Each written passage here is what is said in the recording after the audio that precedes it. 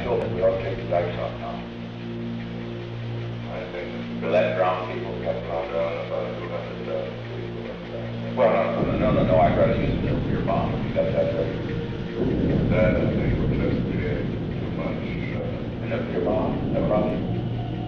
I just want you to think big,